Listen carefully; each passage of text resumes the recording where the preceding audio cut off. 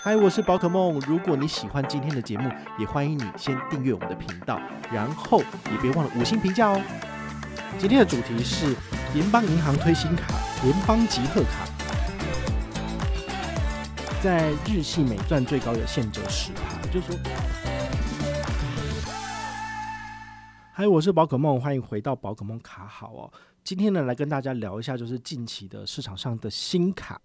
联邦银行又推新卡了，这张卡片叫做集贺卡，听起来就很像是那个啊戏贺 的那张卡片哦。我就觉得网友真的很有创意，因为他们就直接在我的那个贴文下面就放了一一个夕阳，然后有一只鹤飞起来的卡片，那个图哈真的很好笑。那这张卡片是不是就像大家讲，就是戏后就是很烂呢？其实没有哦，这张卡片应该是近期就是。跟旅日相关的卡片里面最好的一张，好，它的权益怎么样呢？跟大家分享一下哈。一般消费有国内跟国外只有一趴现金回馈无上限，好，一趴是基本款啊，就是没什么很厉害。但它真正厉害的地方是在日本的消费，好有三点五趴的现金回馈无上限，也蛮好的。因为呃，如果你是在日本网购的部分，好，J 卡可能有三趴。那你要到日本的实际的商家做消费才有三点八八趴，这是台北富邦这一卡目前的优惠，明年会不会缩减不知道，因为现在还不能出国嘛。但联邦结合卡这个活动是七月二十七号到明年的六月三十号，哦，都是有三点五趴五回馈无上限，包括就是在线上刷卡的部分也是有三点五趴的，好，所以这一点我个人觉得是比台北富邦这一卡还要好的。好，那如果你想要出国去玩的话，我会建议你这两张卡片都带一下，因为。不同的银行它会有不同的这个风控审核标准，所以你如果台北富邦 J 卡忽然间刷不过去，你至少还有联邦的卡片可以替代。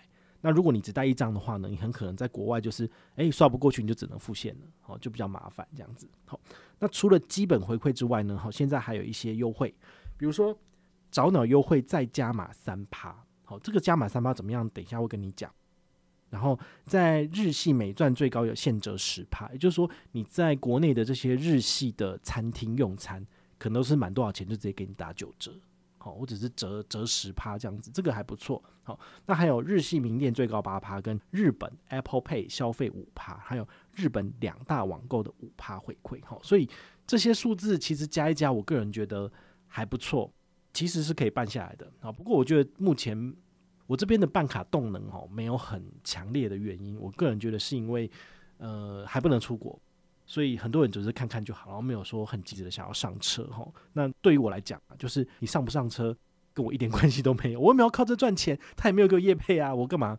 我不需要有业绩，你知道？但是我就是把这个卡片整理好、分析好给你听，反正你将来在搜寻的时候。你还是有可能会找到的，好，只要我的文章的 SEO 还不错，其实你们都是有可能会再看到这篇文章，或者是在听到我们的节目，好，我觉得都没有关系。那他现在的优惠呢，我就是跟你一一的解说，比如说早鸟优惠这个加码三趴，这是怎么一回事呢？好，第一个就是如果你在这个活动期间，也就是今年的七月二十七号到明年的六月三十号这段时间来申请，好，其实你就可以拿到新户加码的一趴。那这个新户加码的一趴呢，是你合卡的当天到次月起，好这样子起算的三个月内的消费呢，就是国内加码一趴。但是因为它的月上限是多给一百，所以你就是每个月刷一万，然后拿到原本的一百刷卡金，再加上加码的一百，就是拿两百。然后你可以连续拿三个月。如果你在八月一号申请的话，就是八月份、九月份、十月份这三个月份。好，然后可以拿到这个额外加码的部分，但是第十一月就没有了。好，因为它只有加码三个月。那另外一个就是数位账户的新户申办理，好，这什么呢？就是他们现在在狂推自己的 New New Bank。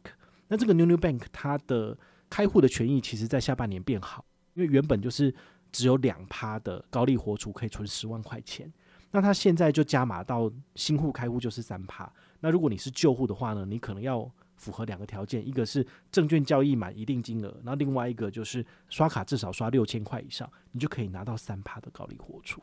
哦，所以它等于算是有加码，因为它没有 M 券活动，所以其实我就会没有什么诱因，就不太想去介绍哈。但是它这个东西还不错，所以你有兴趣，你还是可以申请。你有这张卡片之后呢，你再来加办这个数位账户，就可以再拿到因为你申办了数位账户而加码的两趴消费。但是呢，这两趴消费就不含保费了。为什么？因为它不能够打到自家的幸福 M 卡。如果自家的幸福 M 卡就是被这个给超车下去，那就谁还要办幸福 M 卡？对不对？好，所以保费的话，它一样固定就是只给你一趴。好，所以如果你要缴交保费的话呢，联邦结合卡不适合。好，你只能够用联邦幸福 M 卡才有一点五趴的这个回馈，每个月可以刷六十六万六千六百六十七元。好，所以这个是大家要稍微确认清楚的。好，那刚刚讲到的新户加码一趴，跟数位账户新户再加码两趴，加起来是不是就三趴了？那再加上产品基本的一趴，是不是就是国内四趴？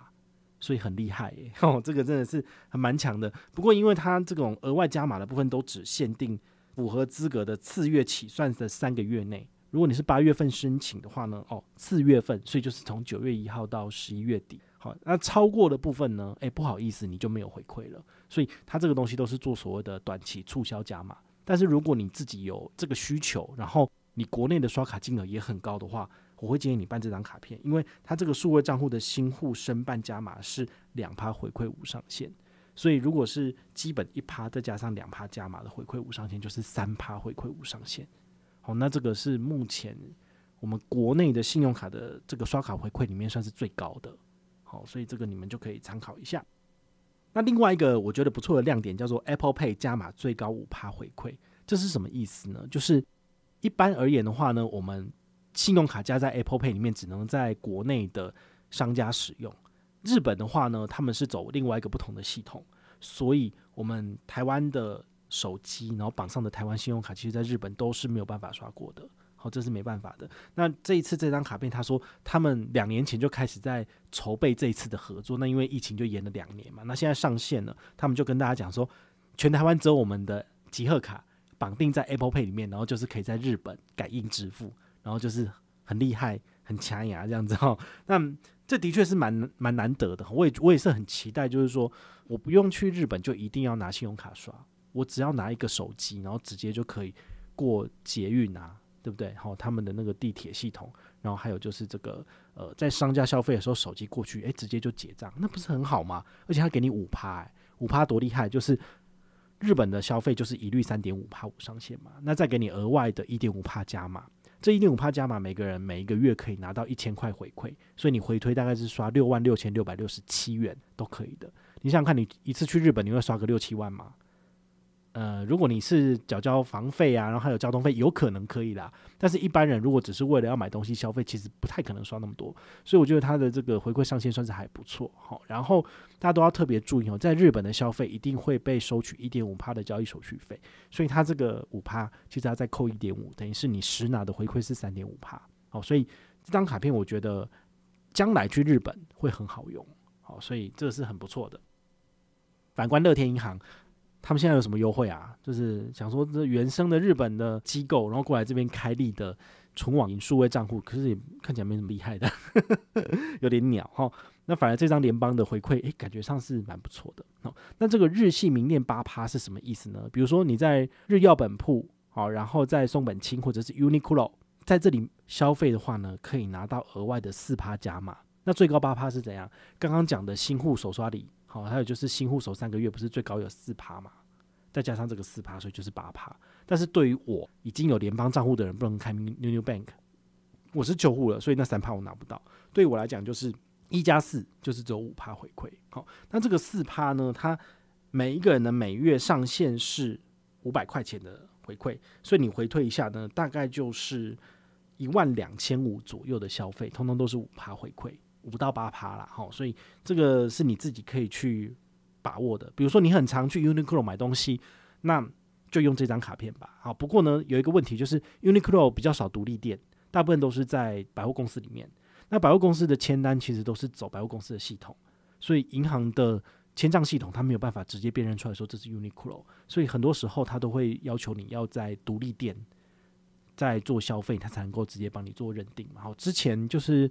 永丰大户，好，这个现金回馈卡，它特别把 MUJI 放进去，可是后来我们发现说根本很难用啊，因为百货公司里面才有 MUJI 啊，你没有那种 MUJI 的独立店呐，那你到底要去哪里刷？所以就变成说他无法认定不给你回馈，那你刷的就是白刷，好，所以就会有这个问题。然后我相信这张卡片也是一样，就是他把这些餐厅的这些通路都算进去，但是如果他的系统无法辨认出来，你也是拿不到回馈的。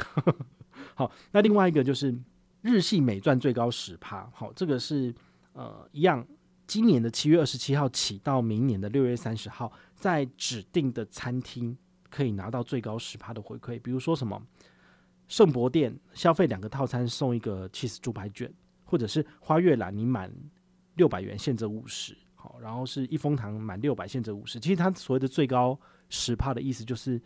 只有一个最厉害是十趴，其他都是给你一点点。好像这个讲就是啊，为什么满六百不是折五六十块钱，或是满六百才折五十，就没有到十趴，所以都是在骗人这样子。哈，那那个金子半支柱，周一到周四满一千元现折一百哦，那这个可能还可以。好，那我觉得这个就可以去吃，或者是像日本桥，周一到周四满一千元现折一百。大家有没有想过，为什么它都是一到四？因为一到四就没有人啊，才做促销嘛。啊，五六日。你就是休息了，你就是带亲友啊，或者是男女朋友去约会，那当然就卖你比较贵啊，然 后都是这样子的。好，那什么太阳番茄面现折十趴，这就不错。然后什么素米肉粒，好现折十趴。所以如果你是喜欢这些日系餐厅的人，诶，这张卡片办下来，其实可以享有的优惠还蛮爽的，感觉就有点像是美国运通的千账白金卡啊。我吃饭的时候用这张卡片结账，就是直接打。打五折哦，那感觉就不一样。好，那他当然没有办法给到五折折扣，不然的话，联邦这个小银行当然就赔死了，对不对？好，他们没有要这样做了，好，所以没有办法有到五折。好，五折你就要用别的卡片了。那另外一个日系人气网购，好五趴回馈，这是哪两个呢？好，就是日本乐天市场跟日本亚马逊。天哪，乐天市场到底在干嘛？就是。还在躺着睡觉吗？就是都已经被攻击成体无完肤了，怎么还不赶快来加码做一些优惠呢？对不对？反而是这张卡片，诶，给你五趴回馈，五趴回馈其实就是日本的三点五，再加上活动加码的一点五趴。那这个活动加码的一点五趴上限是五百，所以你回推大概是刷三万三千三百三十三元左右，可以拿到五趴的回馈。那你还要再扣掉一点五趴的交易手续费了。好，所以我觉得，嗯，大概是。刷三万多块钱左右每个月，好，你就可以拿到五趴回馈，还不错。但是有谁这样有事没事会刷那么多？你是代购吗？对啊，好好。听完了上面讲的东西之后，如果你真的觉得不错，然后你可以考虑上车。现在手刷里有什么东西呢？好，手刷里刷一二八八送五百刷卡金，好，这个算是蛮蛮普通的，就是没有什么困难，而且也算 OK，所以。刷一二八八，然后就送五百刷卡金。如果你就 OK，你就可以上车。那当然，它同时期还有幸福 M 卡的新护理，好像也是刷一二八八送五百吧。然后联邦耐点卡送比较好，就是送最高到一千五吧。好，所以你可以考虑先从联邦耐点卡跟团上车，然后你再来救护的身份加办这张卡片。也可以，所以你可以自己去取舍一下，说，诶，总 total 你自己的手刷礼可以拿回来多少？因为这张卡片虽然说刷一二八八送五百，但是它还有新护理给你额外的一趴回馈，每个月拿一百嘛，所以你可以拿三百。所以这张卡片用好用满，最高应该是可以拿到八百块的新护理，好，不是五百。但你就看你自己取舍。如果你比较喜欢的是联邦耐点卡给你的一千五回馈，那且是来碰点数哦，那你就可以考虑先办联邦耐点卡，然后再办这张卡片。那他有没有推荐活动？有，就是推一个新户送三百刷卡金。好，这个还蛮烂的，因为之前讲过嘛，新户里通常都是要就是一卡至少要给个五百刷卡金嘛，但他们给不出来，对你就会知道说，嗯。这家银行就是一个比较小的银行，也比较小气，因为赚的不多，所以没办法给太多哦。所以我们这边的 NGM 其实也是根据它的这个刷卡回馈金来做设计的。所以新户给多少？新户上车我给你一百积分，旧户给三十五积分。哦，先说明哦，旧户上车他们可是一毛都没有给我，所以我办这个旧户上车活动，纯粹是为了要回馈粉丝，感谢粉丝。好，那你看其他人谁在给你旧户上车给你回馈的？没有一个人愿意给，好吗？因为根本就是赔钱呐，对啊。但是我个人是觉得说，嗯，我会有我现在的成就，其实也是多亏了大家。所以如果你们想要上车，我也是很愿意举办活动让你们上车。我可以少赚一点没有关系，我可以把我赚的回馈给你们没关系。但是呢，大家不能吃到亏这样子。好，那幼班成员给两百积分，基础班个人给三百积分，等于是基础班跟团上车，银行给我的三百，我就回馈给你了。好，就是一毛不拿的意思。好，那这个大家可以参考。但其实，如果你可以回到过去的话，我会建议你就是二零二二年的上半年来上车比较好。新户就直接给五百积分，然后悠悠班给六百，基础班给七百，给很多诶。对不对？这个是大家每回报一张，我就是亏一张。好，但没办法，因为天下没有白吃的午餐，所以我当然没有办法，就是一直给大家这么高的回馈。所以现在我就回到一个正常的均值。好，你现在上车就是至少一百，然后越忠诚的跟团者，我就给你越高。哦，最多就是百分之一百全部回馈给你，然后就是这么简单。好，那本团的活动其实也是跟着他们的官网的活动走到明年六月三十号，所以你不见得一定要现在上车，你可以看你自己的状况。或者是你的连征的次数会不会太多了？然后或者是下半年、明年有打算要出国的时候，是那时候已经很明朗，确认可以就是出国回来，然后都不用做隔离了，那你再办再来用，其实是可以的。所以因为我没有就团办卡的压力，所以你们就随便来吧。好。那如果你有任何的问题或任何的想法，也欢迎你就是到粉丝 S 讯我，好，或者是留言，好，或者是抖内都可以，好，我们有看到的话呢，都会在做节目跟大家回报哦。我是宝可梦，我们下回再见，拜拜。